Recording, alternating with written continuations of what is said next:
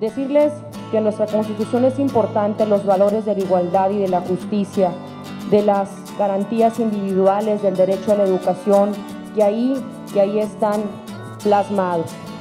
Pero lo más importante, les tengo que decir también que la educación, como bien lo decía el presidente municipal, viene de nuestro hogar. Les quiero decir que me siento muy orgullosa de que esta escuela lleve el nombre de nuestra Constitución.